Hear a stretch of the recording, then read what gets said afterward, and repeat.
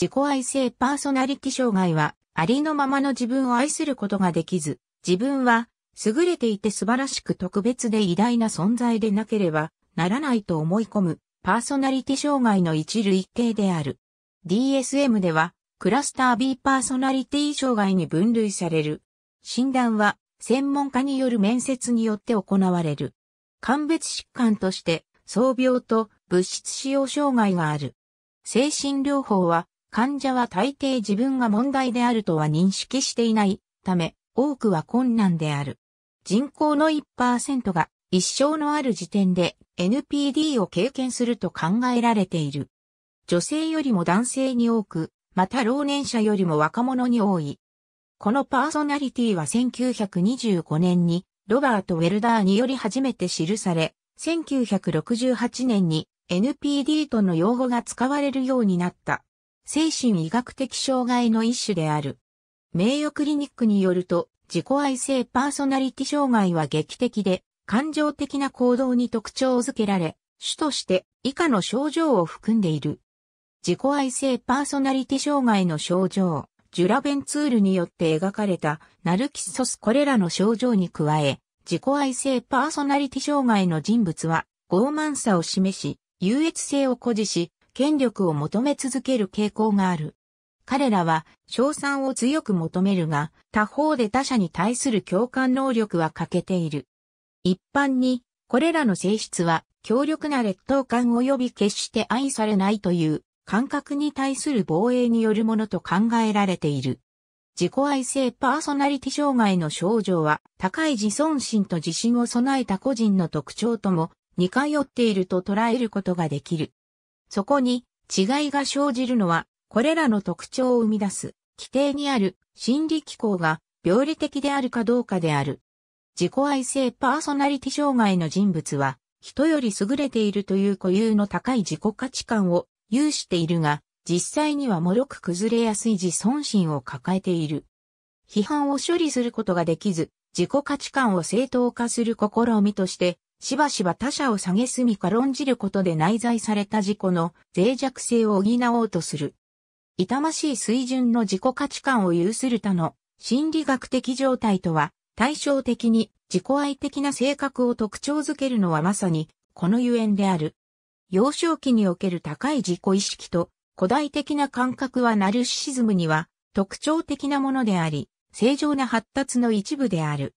概して児童は現実の自分と自己に関して非現実的な視点のもととなる理想自己との間にある違いを理解できない。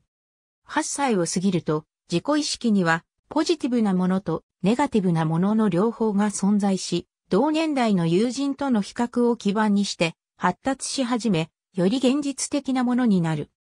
自己意識が非現実的なままで止まる原因として2つの要素が挙げられており、機能不全の交流様式として、親が子に対して過度の注意を向けること、あるいは注意が過度に不足していることのいずれかが挙げられる。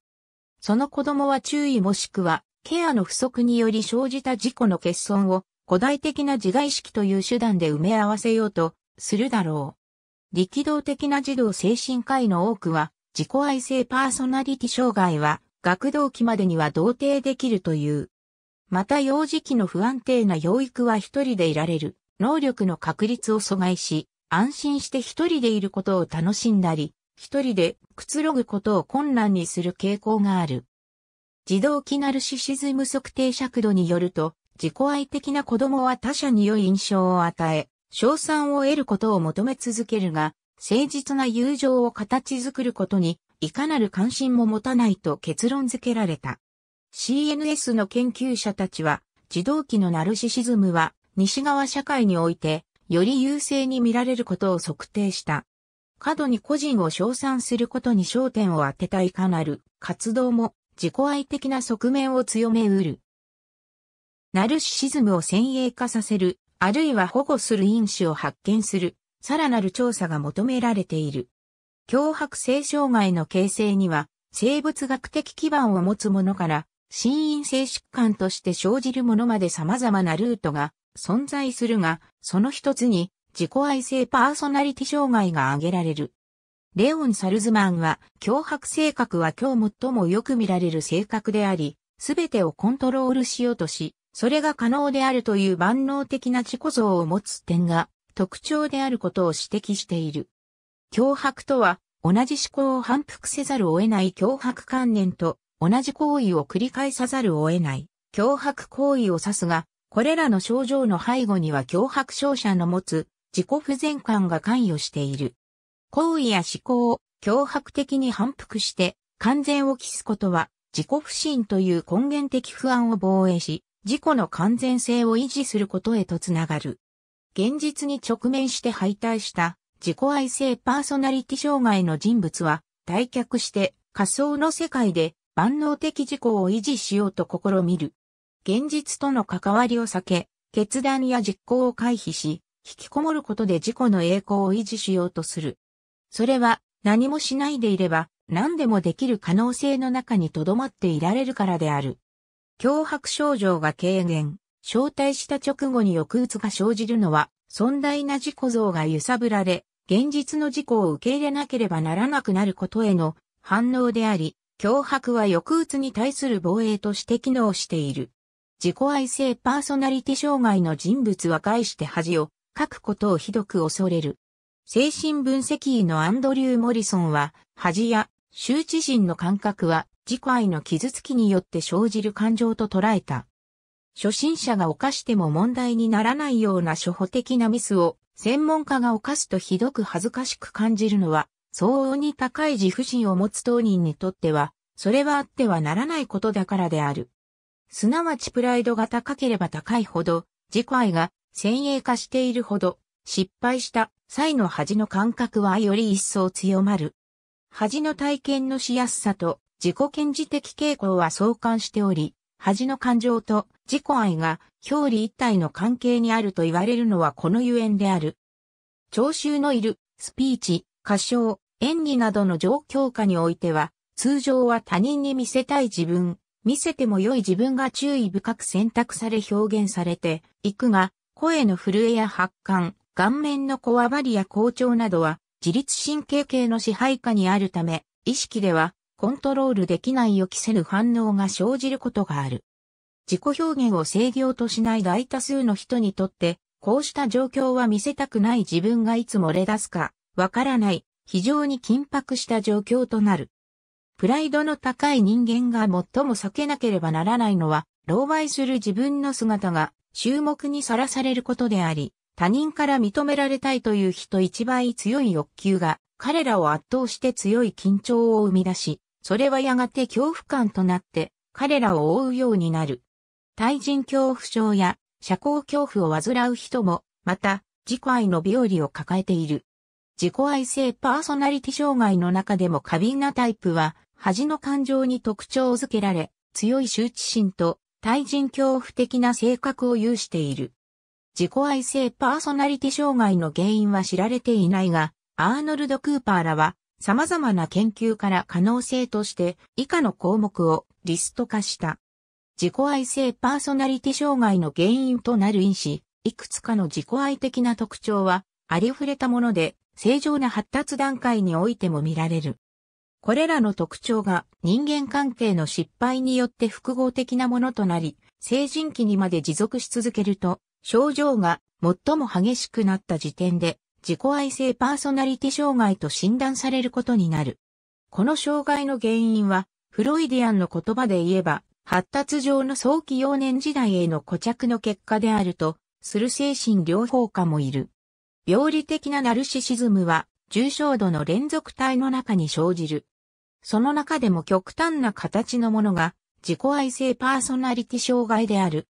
自己愛性パーソナリティ障害は、自分は人に根本的に受け入れられない欠陥があるという信念の結果によるものと考えられている。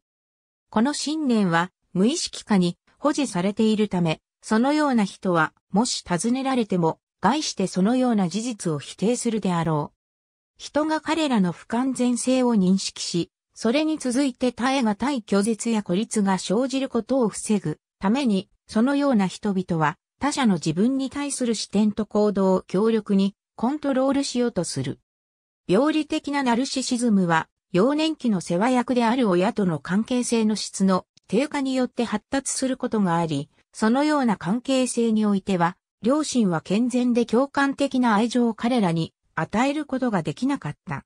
その結果として子供は自分が人にとって何の重要性も持たず関係性もないと認識してしまう。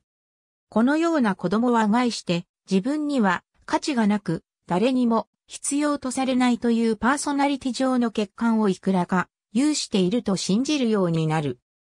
病理的に自己愛的である限りにおいて彼らは操作的で非難がましく自己没頭的で不寛容で人の欲求に気がつかず、自分の行動の人への影響を意識せず、他者に対し自分が望むように自分のことを理解するよう強く主張する。自己愛的な人物は他者を犠牲にして自分を守るための様々な戦略を用いる。彼らは他者を値値下げし、非難し、傷つける傾向がある。また彼らは怒りと敵意を持って脅迫的な反応で応じる。過度に自己愛的な人物は害して、批判された時は拒否され、屈辱を与えられ、脅かされたと感じる。これらの危険から自分を守るために、現実あるいは想像上のものに関わらず、いかなるわずかな批判に対しても、彼らはしばしば軽蔑、怒り、あるいは無視などで反応する。そのような状況を避けるために、自己愛的な人の中には、社会的に引きこもって内気で謙虚であるように装う者もいる。自己愛性パーソナリティ障害の人物が、賞賛、善人、注目、肯定的態度が不足していると感じた場合には、彼らは自身が脅かされたという感情をはっきりと示すことがある。自己愛性パーソナリティ障害の人物は、しばしば野心的で有能なことがあるが、挫折や反対意見、批判に我慢強く耐える能力がなかったり、加えて共感性の不足が、人と協調的に仕事をすることや、長い期間を要する専門的分野での成果を保持することを困難にしている。自己愛性パーソナリティ障害の人物は、現実離れなほど古代的に自己を認識しており、しばしば軽装気分を伴って、外して現実の業績に不通り合いな認識でいる。カーンバーグによる病的な自己評価の調節図古代的、万能的自己と無能的、無価値的自己に分裂している自己愛性パーソナリティ障害と診断された人々は、中心的な防衛規制として分裂を用いる。精神分析医のカーンバーグは、現実の自己が一方にあり、他方に理想自己と理想対象があり、それらの間にある通常の精神的緊張は渦高く築かれた自己意識により排除され、そのような状況の中で現実の自己と理想自己、理想対象が曖昧になっている。それと同時に受け入れられないイメージの残余部分は抑圧され、外界の対象に投影され、それらは脱価値化されると指摘している。渦高い自己意識と現実の自己の結合は、自己愛性パーソナリティ障害に内在する古代性の中に見られる。また、これらの過程に固有の防衛規制は脱価値化、理想化、否認である。他の人々は唯一の役割である賞賛と銭を与えることで奉仕する彼らの延長として操作された人々であるか、あるいは自己愛者の古代性と共謀することができなかったために価値がないとみなされた人々のどちらかである。境界性パーソナリティ障害の人格構造は、良い自分と悪い自分に分裂していて、灰色の自分が存在しないのに対し、自己愛性パーソナリティ障害の人格構造は、古代的自己と無能的自己に分裂しており、真の自己である等身大の自分が存在しないのが特徴である。テオドール・ジェリコーによって描かれた妬みの感情に、囚われた婦人嫉妬と戦望は、通俗的には同じような意味を持つ言葉として用いられるが、心理学的には異なる二つの感情である。戦望は自分以外の誰かが望ましい良いものを我が物としていて、それを楽しんでいることに対する怒りの感情であり、二者関係に基づいている。対して嫉妬は三者関係で自分が愛する対象が別の存在に心を寄せることを恐れ、その存在を妬み憎む感情である。戦望は良い対象を破壊してしまうが、嫉妬は愛する対象への愛情は存在していて、戦望のように良い対象が破壊されてしまうことはない。この点において、戦望は最も原始的で悪性の攻撃欲動であり、破壊衝動である。自己愛性パーソナリティ障害の人物は、自分が欲しいのに得られなかったものを持っている人を見た、時、激しい戦望に駆り立てられ、良いものを所有していることを妬み、憎み、批判し、破壊しようとする。戦望と万能感に結びついた激しい攻撃性は自己愛性パーソナリティ障害の重要な性格標識の一つである。健康な発達過程においては、戦望の破壊性が受け止められ、そこから生じる罪悪感や抑うつを十分に体験し、次第に戦望の感情を統合していく。戦望と破壊衝動に結びついた万能感は次第に減少していき、それに伴い分裂排除されていた愛情と感謝への能力が解放されるようになっていく。自らの建設的な償いと愛情への信頼感が次第に戦望を減少させ、感謝の感情がやがて永続的なものへと変化していく。自己愛的な人物は戦望が処理された後に発達する、こうした感情が未発達な傾向がある。メラニー・クラインをはじめとするクライン学派は、戦望の精神病理と軽装的パーソナリティを生み出す、総的防衛が自己愛性パーソナリティ障害を構成する中核部分であることを強調した。病理的な親は自分の延長物として子供を利用する。常に上を目指すよう励まし、人より優れることを期待する。期待に沿う限りにおいて子を甘やかし、称賛するが、できない時には失望し、怒りを表出する。自身の自己愛によって子を振り回すのである。こうした期待の内実は親自身の欲望であり、子供のことを自分を飾る、道具、所有物、物として扱っているに過ぎない。親の自己愛の照射を受けて養育された子供は、期待に沿う限りは称賛され、愛されるが、一方では自分は無条件には愛されないという二重構造の中で生きることとなる。そうして子供は物を介して甘やかされてはいても、信頼と需要の関係という甘えることを体験していない。輝く子供であることを無意識に要求され続け、しかし、再現のない親の欲望を満たすことができず、常に自己が無力化される機構が働いている。無力化される体験を浴び続けることで形成されるのは、深刻な欠損を抱えた空虚な自己である。自己不信を中核とした自己意識は常に悪性の抑うつを生み出し続ける。自分は無力で価値のない無意味な存在であるという極度に値値下げされた自己像を抱える子供は自己不信が生み出す深刻な抑うつを防衛するために共像で映したような等価の価値のある自分を発展させて自己をバランスしようとする。甘えを断念して手に入れたのは病理的自尊心であり、背後には暴漠たる自己不信が横たわっている。そしてその内部には愛されないことへの不安と起こり、嫉妬と戦望の感情が渦巻いている。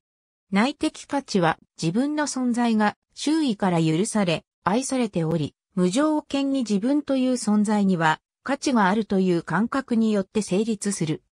自分の内的なものに自信がない彼らが社会で生きていくためには、誰もが目で見てわかるような外的価値を獲得するしかない。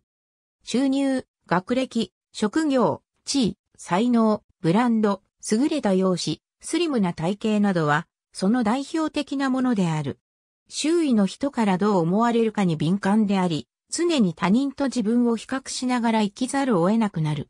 輝く自分を実現するには、他人を蹴落としてでも上位にならなければならない。外的価値は結果を出すことでしか得られないため、プロセスは何の意味も持たなくなる。結果主義は勝ち負けの世界を用意し、必然的に嫉妬と戦望を呼び起こす。等身大の自分を持ち合わせていない彼らは、優越している自分は他者を見下す対象にし、転落した無能な自分は見下される対象になり、対等の人間関係を作ることが困難になる。早期に自立を期待され、甘えを封印してきた彼らは、子供時代を積み残したまま次の発達段階へと進んでいく。古代的自己は自己不信の裏返しであり、これは一種の総的防衛でもある。マスターソンは自己愛パーソナリティ障害の精神内界構造は古代自己表彰と万能対象表彰から成り立っているが、この両者は融合して一つの単位となり、継続的に活性化されて、規定にある攻撃的な、あるいは空虚な対象関係融合単位に対して防衛している。このように絶えず活性化されているので、抑うつを経験することが少ないのであると述べており、古代的自己は抑うつを防衛するために機能していることを指摘している。古代的自己が意識に上っている時にはエネルギーに満ち、軽装的な活動性を示す。それに対して無能的自己が持続する状態に陥った時には深い無力感、空虚感にとらわれ、絶望的な抑うつの海へと沈み込む。自己愛性パーソナリティ障害の人格構造は、古代的自己と無能的自己の間で、振幅運動を繰り返すところにある。こうした二つに分局した自己構造を持ち、中間にある等身大の自分が存在していない。失望や失敗をきっかけに無能的自己へと転落して、激しい抑うつを体験する一方で、自己評価を高めるような出来事を体験すると、古代的自己へと復帰する。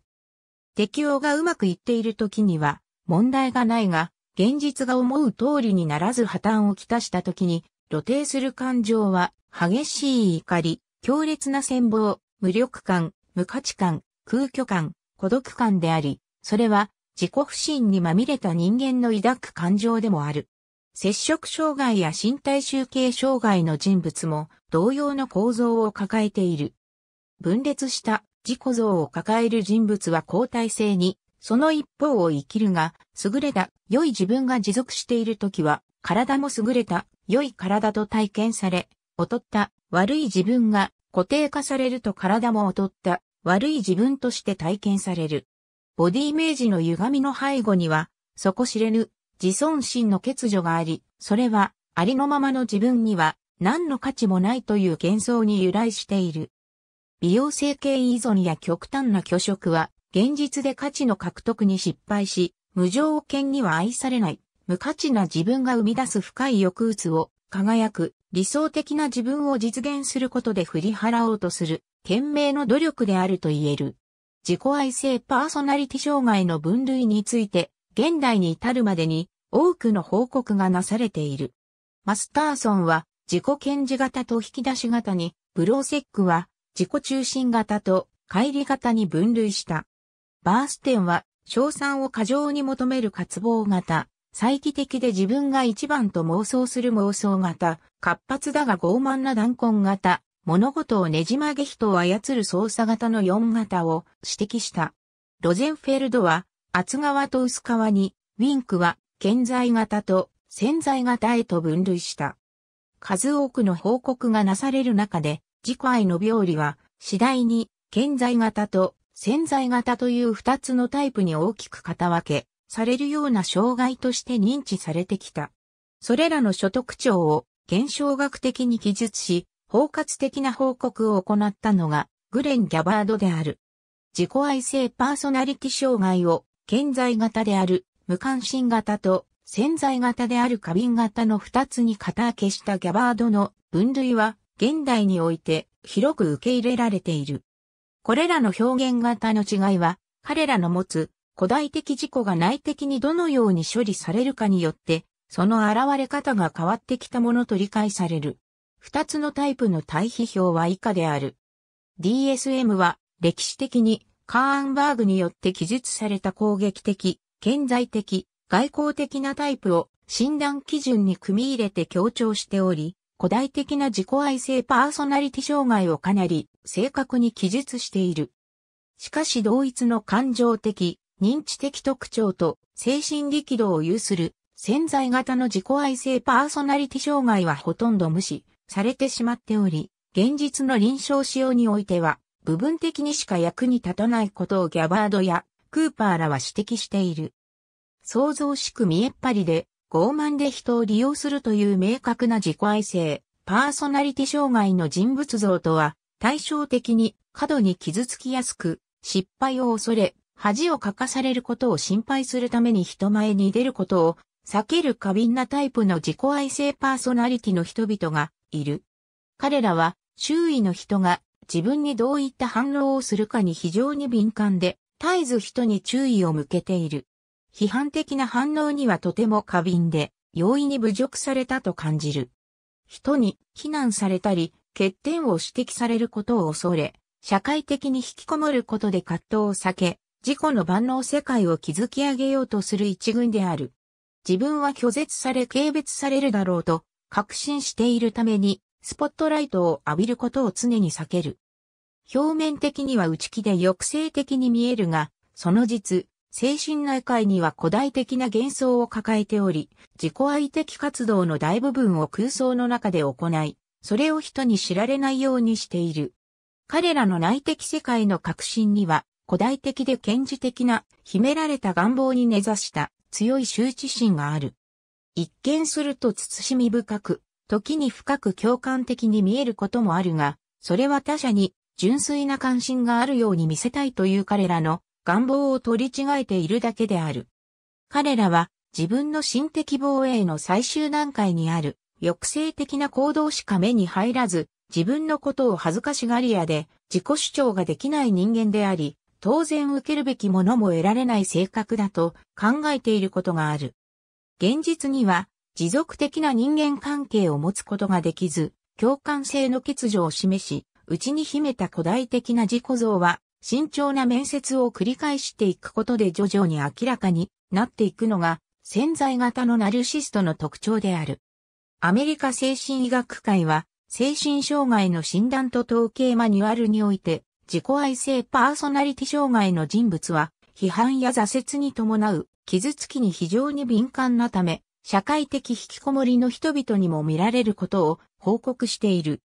グレン・ギャバードは潜在型の自己愛性パーソナリティ障害の人々は、回避性パーソナリティ障害や社交恐怖と多くの点で関連していることを指摘している。また牛島は、現代の操作的診断基準においては、健在型の傲慢なタイプは、自己愛性パーソナリティ障害と診断されるが、潜在型の過敏なタイプは回避性、パーソナリティ障害と診断されてしまうことが少なくないと述べている。これらは精神力動的には同じもので、単なる表裏の問題に過ぎず、背景にある自己愛性の問題を把握することが必要であることを指摘している。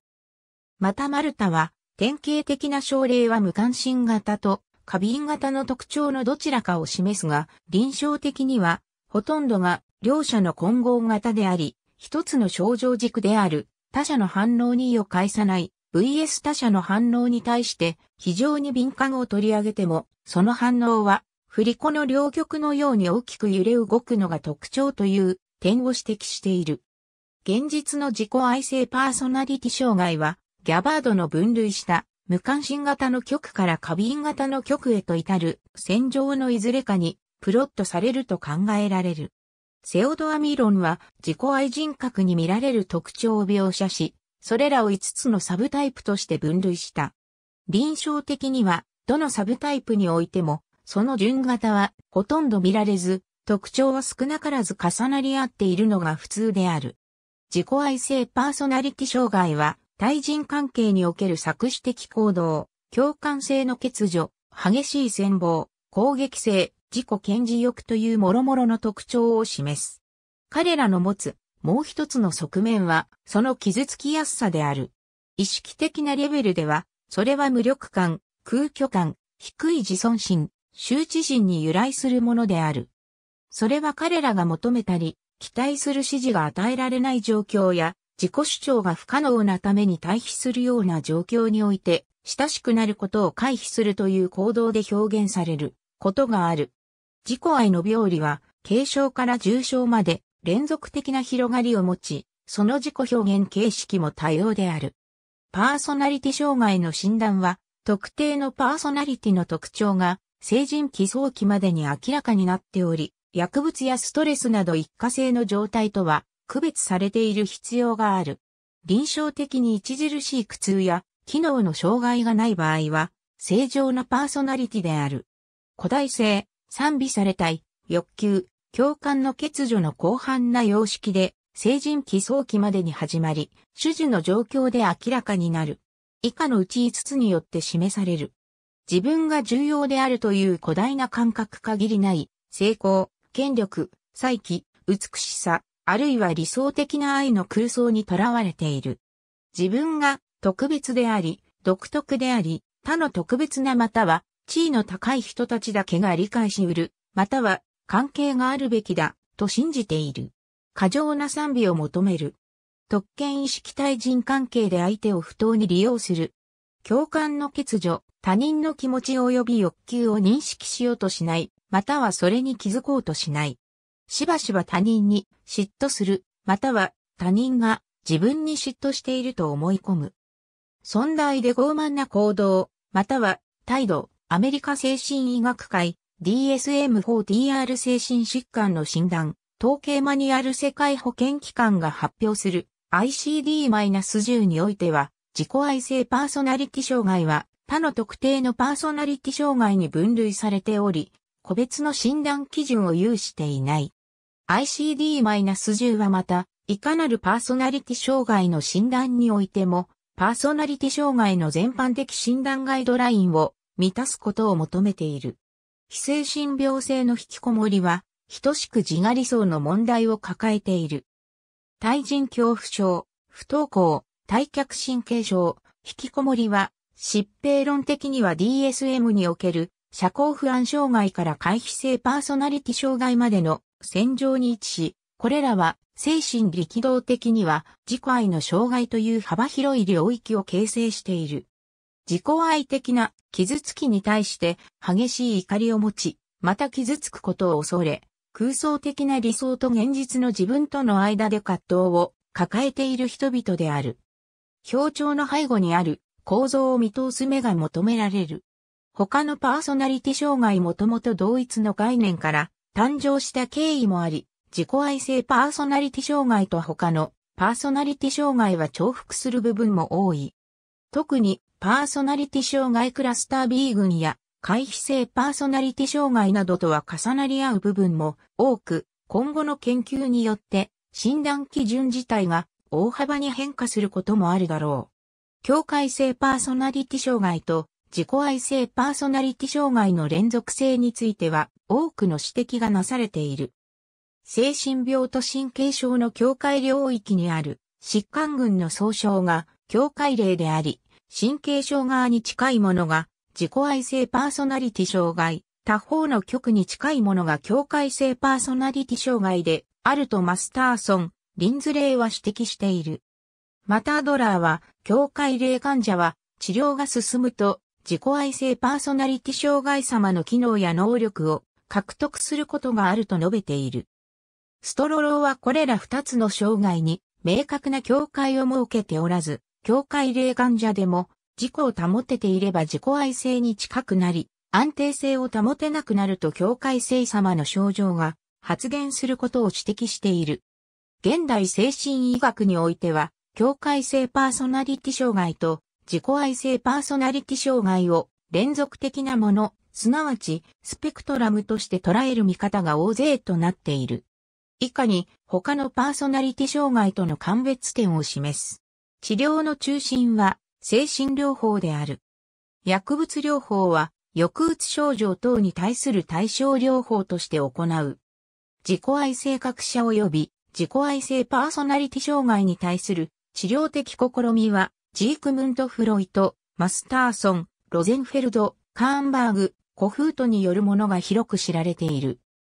ジークムント・フロイトは現代の疾患単位で言えば自己愛性、パーソナリティ障害の人々が含まれる自己、愛心境症の治療を行っていたが、これらの患者には対象転移が生じず、自己愛転移しか生じないため、精神分析では治療できないと結論付けていた。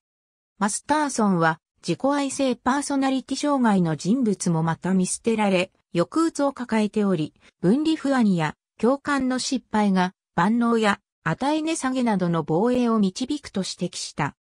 また、対象表彰があたかも自己表彰の構成部分で、あるかのように行動すること、幼児期の古代感と万能感を維持し続けていることから、マーガレット・マーラーの発達理論における分離個体化期において発達停止が生じていると分析した。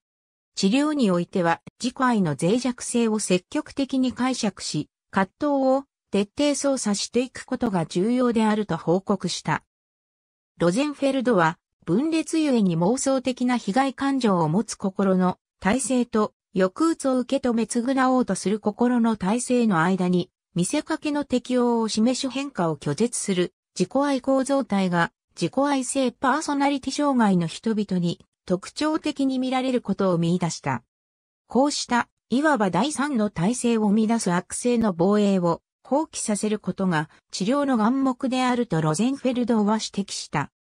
最も広く知られている治療理論はカーンバーグとコフートによるものであるが、彼らは自己愛性パーソナリティ障害に見られる転移を積極的に直面化し解釈することあるいは共感的に扱うことで治療可能であることを報告した。二人の治療理論にはそれぞれ対照的な部分があるが、それは素材となった患者群の違いによるところが大きいと言われる。コフートが診療を行った患者は、自己評価の傷つきやすさを抱えながらもそれなりの社会適応を果たしており、外来治療が可能な人々であった。対して、カーンバーグの患者は入院治療を必要とする人たちを含むより重症の患者群であり、境界性パーソナリティ障害と区別がつかない人たちを含んでいた。両者の治療論は以下である。一般人口における生涯有病率は1%、病院患者においては2%から16%と推定されている。2009年にアメリカの心理学者である東園ギとキャンベルにより行われた調査によると、ここ10年で自己愛性パーソナリティ障害の発生率は2倍以上に増加しており、人口の16人に1人が自己愛性パーソナリティ障害を経験していると結論付けられている。自己愛性パーソナリティ障害は、うつ病、接触障害、脅迫性障害、パニック障害、身体集計障害、物質関連障害、他のパーソナリティ障害との並存が見られる。大うつ病性障害のうち、約2割が自己愛性パーソナリティ障害に伴う抑うつ症状という報告がある。以下に特に関連の深い疾患を挙げる。アメリカ精神医学会は DSM において、接触障害の人は、かなりの割合で少なくとも一つのパーソナリティ障害の診断基準を満たし、自己愛性パーソナリティ障害は、神経性無食欲症と関連が深く、神経性体色症は、境界性パーソナリティ障害が最も多く見られると報告している。接触障害の人々もまた、極度に値値下げされた自己像とそれに対峙する理想的で古代的な自己像が分裂して並存しており、自尊心の障害を抱えている。接触障害における自己愛的防衛の研究は、接触の病理と自己愛の間にある相関関係に注目している。推薦極端なうぬぼれと自己中心性を表現するために、ナルシシズムという言葉を使用するのは、現代の医学分類である自己愛性パーソナリティ障害の遥か以前に遡る。ギリシア神話の人物であるナルキッソスという青年は、美しい要望を備えていたが、彼に恋をした精霊のエコーに冷淡に振る舞ったことで、女神、ネメシスの怒りを買ってしまった。自分の姿に恋焦がれるという罰を受けたナルキッソスは、泉に映る自分に見とれたまま痩せ衰えて死んでしまった。彼なき後の水辺には一輪の水仙の花が残っていた。ナルシシズムという言葉の起源は、1895年にハブロックエリスが自己没頭的な患者を報告する際に、ナルキッソスの物語を引用したのが始まりとされる。1899年には、パウロ・ニッケが正当作を定義する言葉として、ナルシシズムという語を用い、1909年には、ジークムント・フロイトが対象愛の全段階という、より広い心理状態を指す語として、ナルシシズムという言葉を用いた。1933年にはビルヘルム・ライヒが初めて古代的な人物像である断根期的自己愛性格を人格の病理として記載し、1946年にはオットー・フェニケルが自己愛人格あるいはドンファン性格として記載した。1953年にアニー・ライヒは極端な二つの自己像に分かれ、現実的な自己像を持たない自己愛患者について報告した。1967年、オットー・カーンバーグによる自己愛性人格構造、1968年、ハインツ・コフートによる自己愛性パーソナリティ障害の提唱により、古代的な自己像を抱え社会生活に支障をきたす一軍の疾患単位が提唱された。1980年に発表された DSM-3 によって自己愛性パーソナリティ障害概念が定義され、DSM-5 へと引き継がれ現在に至っている。三島由紀夫ヘルベルト・フォンカラヤン自己愛性パーソナリティを有していたとされる有名人には、三島由紀夫、サルバドール・ダリ、ヘルベルト・フォンカラヤンがいる。三島由紀夫は、対人関係に過敏で、貴族的な先民意識を持ち、妥協を許さぬ、完璧主義者であった。祖母に溺愛され、母との情緒的なつながりを持ちにくかった三島は、幼い頃には、怪我をすると危ないという理由で、女の子だけを遊び相手に選ばれている。分断デビュー当時の思うように売れない時期から、規定にある自己不覚実感を覆い隠すようにボクシングやウェイトリフティングという肉体鍛錬に没頭した。またその麗しい肉体とは対照的に取り巻きなしでは飲食店に入ることすらできないという過敏性を示している。その後数々の傑作を生み出し流星を極めたものの40歳にもなると肉体的な老いを感じずにはいられなくなり、痩せ衰えることを極度に恐れた。やがて国家主義的思想に自らのあり方を重ねていった三島は、劇的な自決により、美を保ったまま自らの人生に幕を下ろした。サルバドール・ダリは、様々な精神障害の特徴を示しているが、その中核にあるのは、歪なナルシシズムである。自らを天才と言ってはばからない、自己顕示性と卑怯な振る舞いの背後には、ありのままの自分を認められずに過ごした老いたちが関係している。ダリには同じ名前の兄がいたが、2歳でその人生を閉じており、ダリはその兄の写真を見ることを極度に恐れた。両親の目の奥に自分ではなく死んだ息子への不毛な愛情を感じていたからである。生涯にわたって自己権伝の衝動にとらわれ続けたダリは、私は自分自身に証明したいのだ。私は死んだ兄ではない、生きているのは私だ、とと綴っており、愛情面の傷つきから来る繊細な感性と、古代的とも言える自信は、創造的な営みの原動力となった。ヘルベルト・フォン・カラヤンは、世界最高の指揮者として、帝王の名を欲しいままにしたが、その気象から数多くの問題を引き起こした。カラヤンはメディアに掲載される自らの写真をすべてチェックし、認めたもののみ公表を許すなど、自分が最も理想的な姿で映し出されることを求めた。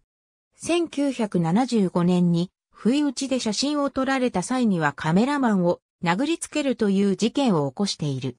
またカラヤンは自らが貴族階級出身であることを表す本をつけて名乗ったが、パスポートにはヘルベルト・カラヤンとだけ記されていたという。幾度にもわたるベルリンフィルハーモニーとの対立に示されるように、カラヤンは少しでも意見を言う者や、従わない者には怒り狂い、徹底的に攻撃した。